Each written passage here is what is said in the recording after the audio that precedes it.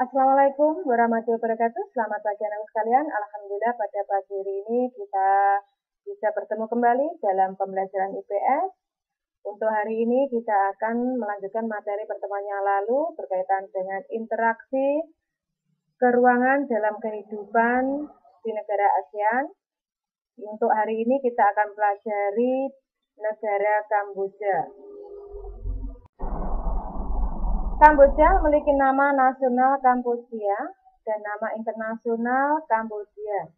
Negara ini merupakan penerus kekaisaran Khmer yang pernah menguasai seluruh semenanjung Indochina pada abad ke-11 dan abad ke-14. Negara ini beribu kota di Phnom Penh. Untuk identitas negaranya, mari kita perhatikan sebagai berikut. Di mana identitas negara Kamboja meliputi nama resmi Republik Rakyat Kamboja, ibu kotanya Phnom Penh, pemerintahannya Republik Komunis, kepala negaranya Presiden atau Dewan Negara, kepala pemerintahnya Ketua Dewan Menteri atau Perdana Menteri, badan legislatifnya namanya Majelis Nasional, bahasanya adalah Khmer resmi, kapal Prancis, agamanya adalah Buddha Theravada, rakyatnya yaitu bangsa Kamboja atau Kamboja, serta mata uangnya namanya Rie. Untuk memperhatikan e, daerah atau negara Kamboja ini, ini akan ada atau bisa kalian perhatikan petanya sebagai berikut. Berdasarkan letak astronomisnya, wilayah Kamboja terletak di antara 10 derajat lintang utara sampai 15 derajat lintang utara dan 102 derajat bujur timur sampai 108 derajat bujur timur. Luas wilayah Kamboja kurang lebihnya 181.035 km persegi. Adapun secara geografis, Kamboja terletak di, uh, di Semenanjung Indochina Batas-batasnya wilayah Kamboja sebagai berikut. Sebelah utara itu antara Laos dan Thailand. Sebelah timur yaitu Vietnam. Sebelah selatan yaitu Teluk Siam dan Vietnam serta sebelah barat yaitu berada di antara Thailand dan Teluk Siam. Kamboja beriklim tropis dengan musim kemarau antara bulan November sampai bulan Mei. Membawa pengaruh angin musim timur laut pada bulan Januari, sebagian besar daerahnya itu menerima curah hujan kurang dari 50 mm. Dan pada bulan Juni sampai bulan Oktober itu uh, angin bertiup dari laut. Curah hujannya tertinggi di daerah pegunungan Gajah dan pegunungan Kardamon yaitu sekitar 2050 mm per tahun, sedangkan curah hujan terendah terdapat di daerah dataran besar Tonle Sap, yaitu sekitar 1525 mm per tahun.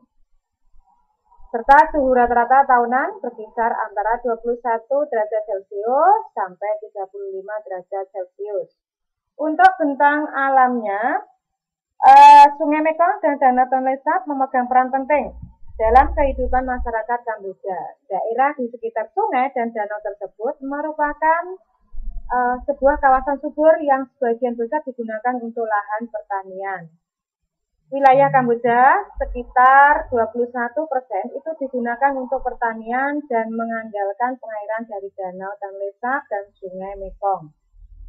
Wilayah Kamboja sebagian besar adalah hutan. Di kawasan-kawasan yang memiliki curah hujan tinggi banyak ditemukan hujan atau hutan hujan tropis. Sementara itu, di kawasan yang memiliki curah hujan rendah, banyak ditemukan sabana atau padang rumput dan ilalang atau hutan jenis tertentu misalnya hutan jati atau kapuk.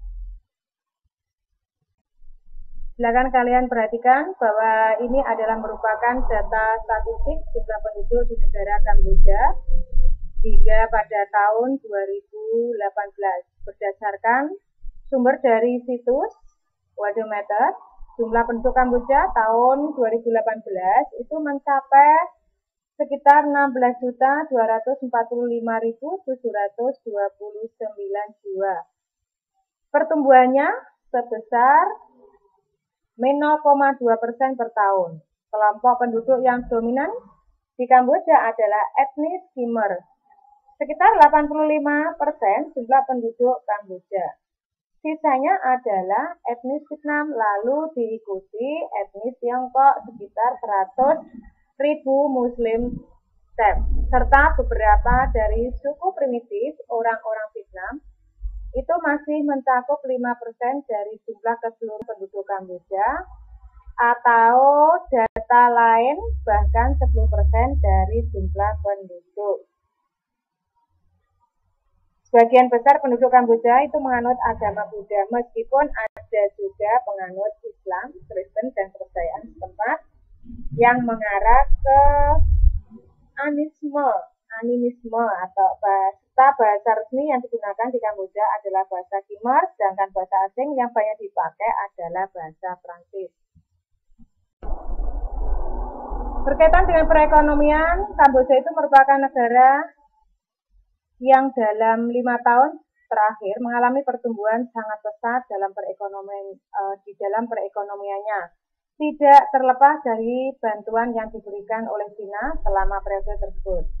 Investasi China itu sampai tahun 2012 tercatat mencapai 5 miliar dolar.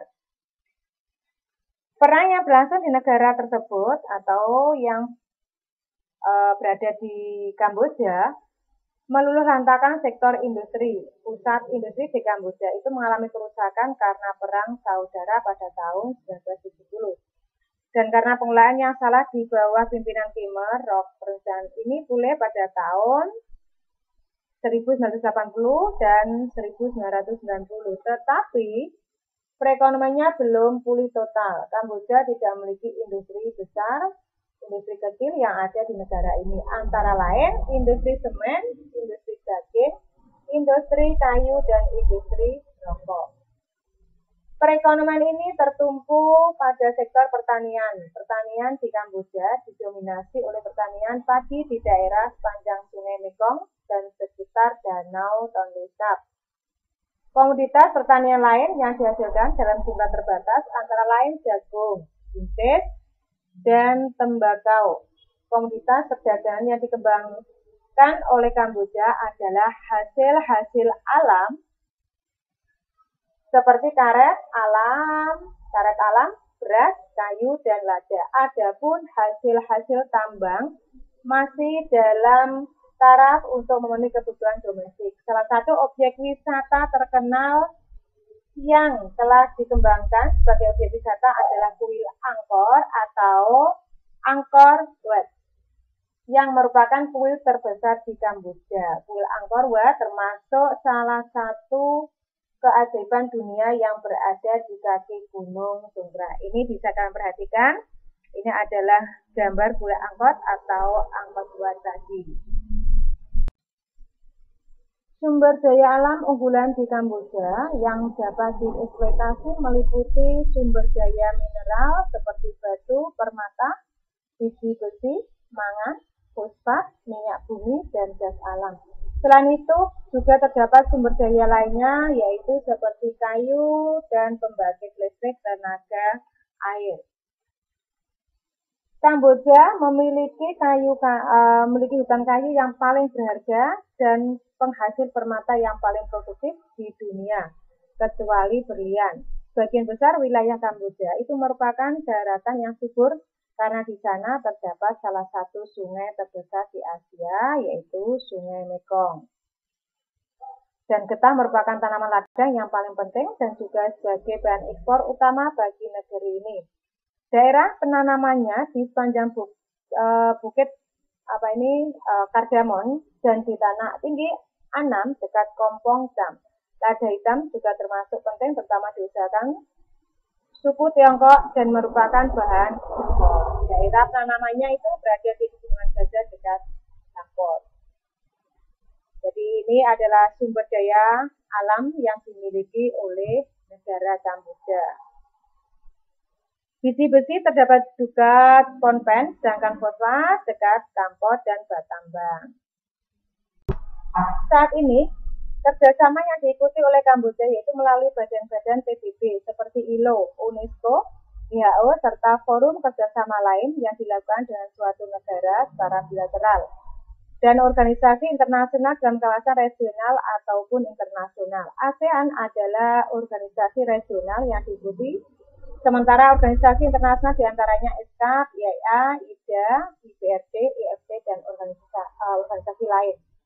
Antara Indonesia dan Kamboja itu terjalin hubungan politik dan keamanan dengan saling menempatkan duta besarnya. Selain itu juga Indonesia juga ikut berperan dalam usaha menyelesaikan pertikaian di Kamboja melalui Jakarta Informal Meeting atau JIM dan pengiriman pasukan Garuda 12 pada tahun 1992 dibawa UNTAK untuk menjaga perdamaian di Kamboja. Demikian materi yang bisa kami sampaikan berkaitan dengan kehidupan di negara Kamboja. Untuk pemahaman lebih lagi, eh, berikut ini ada penugasan yang harus kalian selesaikan.